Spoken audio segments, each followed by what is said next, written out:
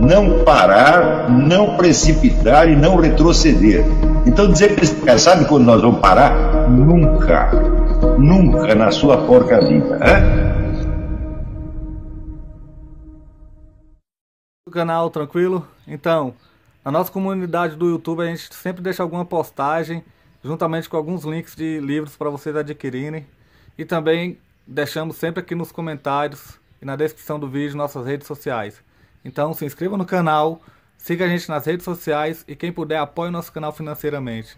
Temos Pix, Vaquinha, Após e temos nosso conto também para quem quiser nos ajudar. Tranquilo? É isso aí. Sempre com Deus, pátria, família e liberdade por um Brasil melhor. Valeu!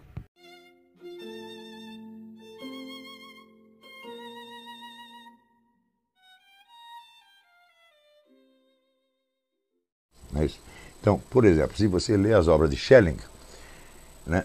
Schelling andou lendo muita biologia na época, aproveitou muita coisa, só que aquelas teorias todas já foram para o brejo, não, não, não funciona mais. Então, você tem que, quando você lê aqueles trechos de Schelling, você tem que separar o que é a concepção filosófica do que, que é a argumentação ou exemplificação científica que ele está dando. E você vai ver que, em geral, a primeira vale independentemente da segunda. Ou seja, a elaboração filosófica está correta e é útil, ainda que o embasamento científico esteja falso. Isso aqui é uma, é uma constante tá certo? Na, na, na história da filosofia.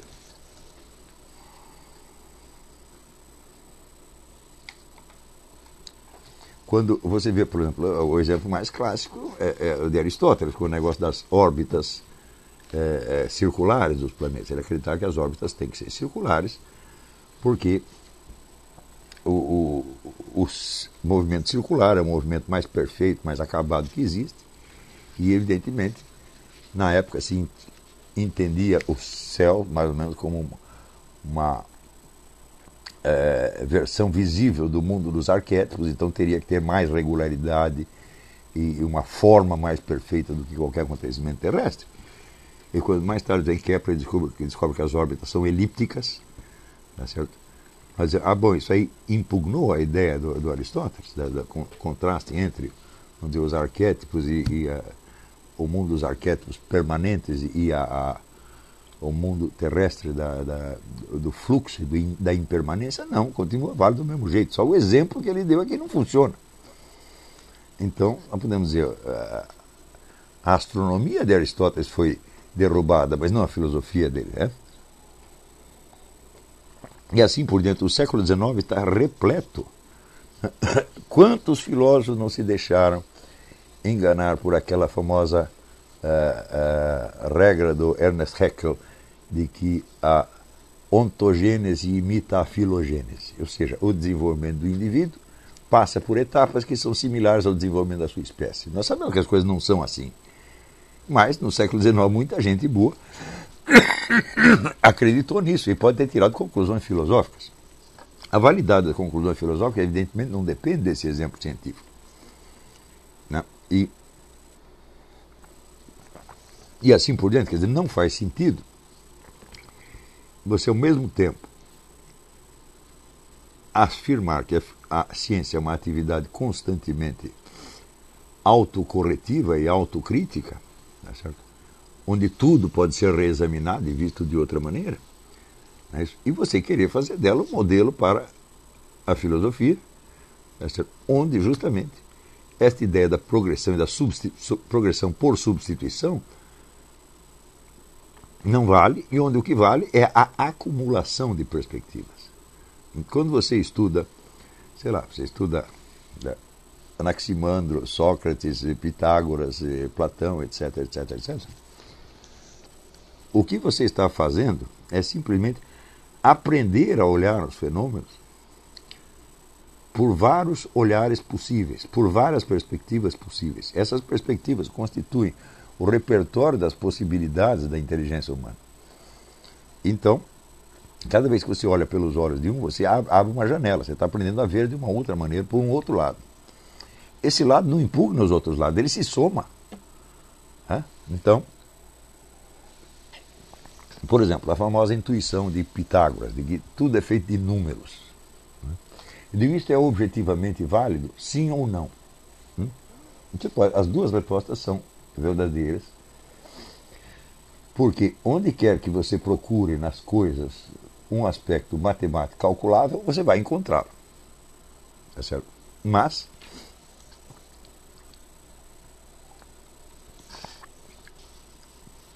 isso não quer dizer que a estrutura matemática seja a base ou fundamento da realidade. Porque o, o fato é que nenhum fenômeno, nenhum ente chega a nós sob a forma de um elemento matemático. Hum? Somos nós que tentamos apreender por trás das suas formas infinitamente variadas e caóticas alguma regularidade matemática. E levamos esse esforço até o ponto de tentar matematizar o próprio caos. Não é isso? O que, sem dúvida, é possível até certo ponto. Tá certo? Então, a intuição de Pitágoras vale cientificamente ou não? A resposta é sim e não. Mas ela é uma maneira de olhar que se tornou indispensável. Ou seja, ao longo dos séculos, você vê que, é, haja o que houver, sempre em algum momento você vai ter que olhar as coisas matematicamente. É? Então, como expressão de uma lei objetiva da constituição do cosmos, o preceito de Pitágoras nem vale e nem não vale. Mas, como descoberta de uma perspectiva que é útil e frutífera para a mente humana, isso aí nós não podemos negar. Não é isso? Então, também, veja, a ideia platônica de que há um mundo do que remonta para Parmênides, existe um mundo do fluxo da impermanência e por cima dele existe o mundo dos arquétipos estáveis ou da eternidade. É? Ele, bom, isso é assim objetivamente? Jamais saberemos. Sabemos, sabemos é que temos que olhar as coisas desse jeito, porque quando olhamos, descobrimos muita coisa. Ou seja, cada filosofia não é uma nova teoria do mundo, da objetividade do mundo. Não é. Como, como teoria, como descrição do mundo, ela pode ser muito falha. Por quê? O filósofo descobre uma perspectiva, descobre uma direção do olhar que é importante e que é útil, mas isso não quer dizer que ele vai obter sucesso em fazer dessa perspectiva uma descrição apropriada da realidade, o que ele não pode realizar por meios filosóficos, ele teria que realizar por meios científicos. E por meios científicos, nenhuma descrição jamais será completa e adequada, a coisa vai continuar mudando e mudando mudando indefinidamente. Então, se na formação científica você tende não só uma especialidade cada vez maior, tá certo? mas a estabilização, pelo menos temporária, de certos critérios de validade, tá certo? E você deve, em princípio, operar só dentro desses critérios de validade, sem apelar a outros conhecimentos que não estejam validados por aquela ciência em particular. Em filosofia é exatamente o contrário. Você tem que ampliar o número de perspectivas, tá certo? indefinidamente, mesmo sem poder sintetizá-las numa teoria.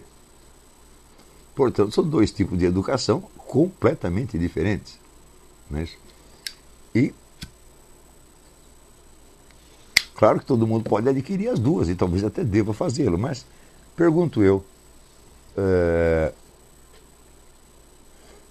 por que, que uma educação científica para um filósofo seria mais importante do que uma educação artística, uma educação moral, uma educação religiosa? Hum? Por exemplo, nós sabemos que uma pessoa que não tem a experiência de práticas espirituais, experiência da, da busca constante né, de Deus, ela não tem intuição de uma série de realidades da vida. Você só vai ter isso mediante a prática. Né? Então, é,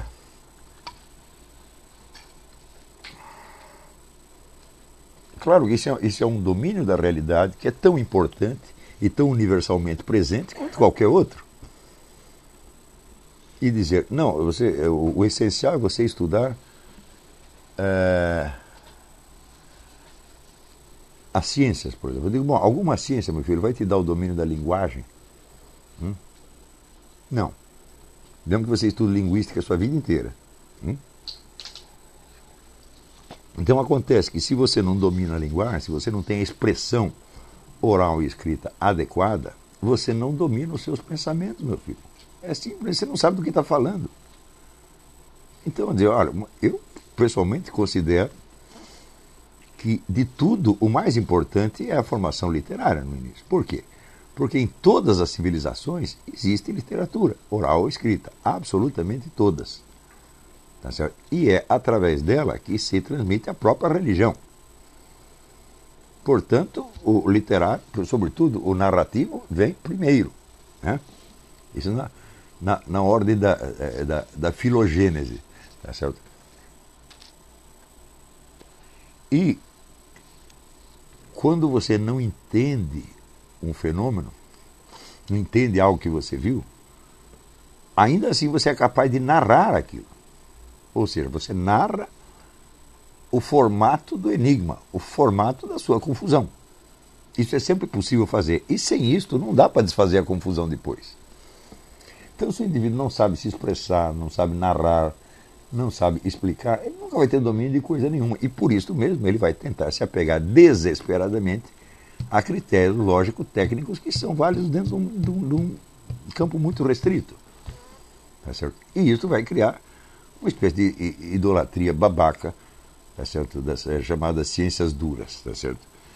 O que é uma bobagem, porque, como já dizia o Max Weber, é muito mais fácil você calcular com exatidão o resultado provável de uma próxima eleição do que saber em quantos fragmentos uma pedra vai se estilhaçar quando cair no chão. Portanto, achar que as ciências da natureza são, são realmente ciências duras, a divisão de ciências duras e ciências moles é coisa de gente de, de cabeça dura e miolo mole. Né? Essa distinção não existe absolutamente. Essa é uma, é, é uma, uma convenção e, na verdade, é um pouco a mitologia ginasiana quando eu era eh, moleque já tinha essa mitologia, dizer, se você é menino, você tem que estudar física, matemática, e se você é menina, você vai estudar letras, história, etc, etc. Então, ele já botava uh, o mundo das, das ciências humanas para baixo. Né? É... Também, eu pergunto o seguinte, quando eu vejo a pleiade de cientistas que tornaram famosos no século XX, de quantos deles conseguiram extrapolar do seu domínio científico estrito algumas conclusões que fossem, não digo válidas, mas valiosas para outros domínios. Né? Só fizeram isso aqueles que tinham uma formação humanística monstro, como Werner Heisenberg, por exemplo. Se você lê a memória, memória do Werner Heisenberg, está cheio de ideias filosóficas é, maravilhosas, mas ele é um garoto que com 12 anos estava lendo Platão, Malebranche, é, adquirindo uma cultura literária e filosófica enorme antes de fazer a sua carreira é, científica.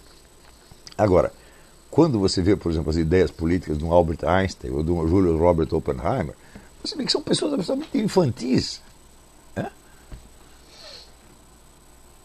Não entendiam, não chegavam palma dentro do nariz.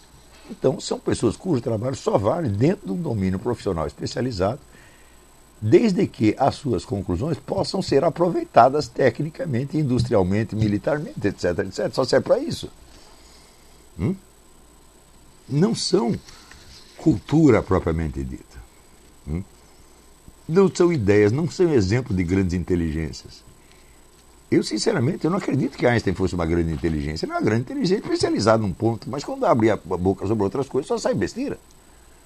E você vê, sobretudo, pelas suas né, uh, atitudes ao longo do tempo. Essa história do Júlio Robert Oppenheimer, que todo mundo diz que era uma vítima, que foi perseguido. Não, ele não era vítima, ele realmente ele colaborou com a espionagem soviética. Hum? E então, esse sujeito ele ajudou a inventar a Guerra Fria. É? Você acha que isso é lucidez? Você imagina como a história teria sido diferente se a União Soviética não tivesse a bomba atômica? Hum? No qual ela não contribuiu nada para as pesquisas, foi tudo roubado. Né? Então, sem isso você não teria a expansão do comunismo na Ásia, na África, na América Latina, milhões de pessoas, de vidas teriam sido poupadas e assim por diante. Não é isso? E diz que o Oppenheimer morreu atormentado porque ele tinha gerado a morte. Eu digo, mas ele não apenas gerou, mas a multiplicou. Hã? Ele entregou para o outro lado. Então, quer dizer, é uma falta de lucidez assim, monstruosa. Quando você vê a história de Bertrand Russell, Bertrand Russell escreveu coisas de lógica matemática que são exemplares, mas quando tentava analisar a, a, realidade do mundo, ele fala cada besteira que assim, assim descomunal. Quando ele, por exemplo, ele propôs um bombardeio atômico preventivo da União Soviética. Ele disse, ah, que legal, nós vamos lá, matamos 2 bilhões de pessoas, está tudo resolvido. Essa é a ideia de Jerico, evidentemente. E depois, mais tarde, ele mudou de lado. Ele era anticomunista, passou para o lado do comunista, né? e terminou fazendo, sendo propagandista do Ho Chi Minh. Então é claro que é uma total falta de lucidez. Não é uma pessoa intelectualmente madura. Né?